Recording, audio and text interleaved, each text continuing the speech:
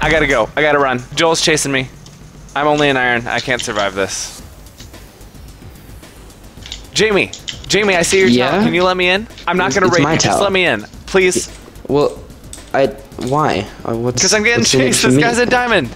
He's catching up. Yeah, but- hurry, hurry, hurry. But he's he's not chasing me. Jamie, he's chasing me. I gotta get inside. He's gonna kill No, me. uh, but I have I nothing but iron. Uh, Hurry, hurry, he's here. failed to- I'll let you on my YouTube channel. Just let me in. Hit the button. Hit it, hit it, hit it. yeah, all right, fine. Thank you. Okay, wait. Uh, turn it off. Turn it off. Shut the door. Shut the door. Shut the door. Shut the door. Ah! Jamie, thank you so much. I would have definitely died. Really appreciate Yeah. it. How did you build that bridge? That's awesome. Well,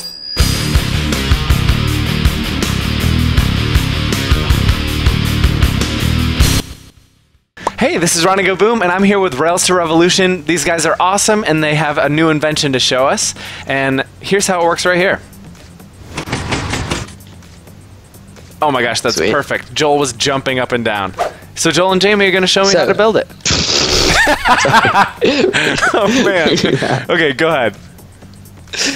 um, okay. So if the the materials we'll need first off will be any solid block. In this case, we're using stone. Uh, furnaces, as they don't get pulled by slime blocks. Slime blocks, sticky pistons, redstone dust, redstone repeaters, and levers or any activation source. So as usual, as is standard on our channel, I will be doing the structure and will be doing the redstone. So we'll start with your solid block, and you're going to make a corner piece like so. Then sort of nestled in that, you're going to go three along with your sticky pistons. And on top of that, you're going to put slime blocks. Now you're going to go one, two, three, one up in the middle, one up again, one to the left, and two to the right. Now up here on the diagonal from your solid block, you're going to put two furnaces, one there, and one there. And then adjacent to those, your solid blocks. You're going to remember to shift click so that you don't enter the furnaces when you're trying to put those down. Now on the other side over here, you put your furnaces against the base block on the slime blocks, then solid blocks adjacent to that and down diagonally to each side. Now directly under here, you're going to break two blocks. That's a little bit of a difficult shot, but Ronny, I'm sure you can get that. Now on the tops, you're going to put stone on each end, and then furnaces all along each side, like so.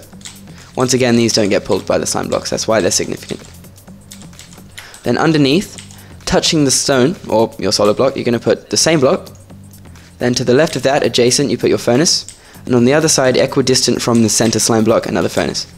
Then this bit's a little bit tricky, but just watch. If you put one there, diagonally, one furnace, and on the other side, in the same direction, diagonally, there. That's very important so that the lava doesn't flow through, or whatever water you have. Then last thing on the very end, is this is the first block, this is important that you only put this on the first tile, as this is a tileable design. You put your solid block there, and if this was also the last tile, you would put it here on this end. But I think we're going to make two tiles this time, so that's that. So Joel, if you'd like to take over the redstone. Yep, sure. Thanks for the introduction, Jamie. Okay. So first of all, you want to come over just down over here. Where's oh, there you are. Okay. Um, just get your redstone, and this is where it'll get activated. So we can just chuck our lever right here, but obviously you can chuck it wherever you want. It can come from wherever. But yep, two pieces of redstone here. Get your redstone repeaters. Put one over here on a delay of two, and you want to come up onto this square. Um, in a sort of L shape, you want to put your redstone there, and right in the corner, just put your repeater facing that way on a delay of 2 again. Now come down over here. You want to extend your redstone to the floor and put a redstone repeater coming from it on a delay of 4. And get your redstone, come over to this part, and you kind of need to go into the hole. Hope you can see this. Um, put your redstone and then the redstone repeater on a delay of 2. So there, if you can get the angle. And coming around on the other side where it picks up, get your redstone to just go over this little triangle and importantly onto this furnace over here. And then lastly, just get your repeater, chuck it right here on a delay of 2. And as we can see, if we just hit the redstone, repe- I mean, sorry, the lever, comes up all the way, 3 blocks, hit it again, comes down 3 blocks. There we go. Excellent. We go. Let's see that one more time. Go up and down. sure. Do Okay. it, Joel. Up, Nice. down. Perfect. So I think we will make a second tile just to show. So what's important about this design to understand is that you can make it as long as you like. It's just built into these sections here. Yep. And so what we are going to do is make two, but you can make three, you can make four. You, you know, you can you get the point. You can make whatever you want. So to make a tile after this one, you're going to go two spaces from this piston here. You go one, two, and then put your solid block here, and start with the corner piece again. You're then going to put your sticky pistons. You can sort of see where this is going. Slime blocks.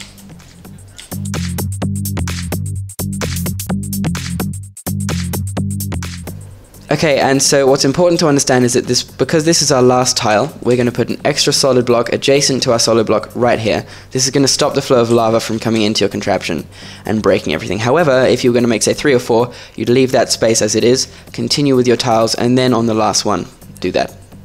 Joel, if you'd like to just whack on the redstone for that. Yep.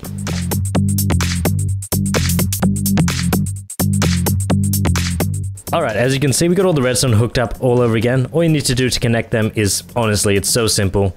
Get your redstone, two blocks, connect them like that. Easy, done. As you can see, we can chuck the lever again, watch the magic unfold. And ta-da! Perfect. So yep, that's how to build it. Yeah, And, that's uh, it. Any any words, any last Excellent. Thanks, guys. This is Plugs. awesome. Great tutorial. So much better than the normal tutorials I have on my channel. Normally, I just explain how something works and give them the map download. Oh well, it's a pleasure being here. That's uh, yeah, Yeah. that, that's it. That's yeah. Thanks for having us on your channel. It's oh my gosh! Thank you so much for for the invention and for building it. That was fun. Great. All right, well that's us. Guess we hope to see you maybe on some of our videos. Awesome. Thanks so much for watching, guys. I hope you really like this trap. Make sure you leave a like and subscribe, and subscribe to Rails2Revolution. These guys are awesome. It was so fun working with you. Yeah, thank you guys so much. It was awesome. It's quite alright. Thank you very much. It was really, really great working with you. Yeah, This was thanks for having us. You were great and make to work sure. with. you know? Oh, thank you. It was awesome working with you guys. Make sure you check out the video that I posted on their channel, or we worked on together on their channel. I have a trap video over there, and it turned out really well.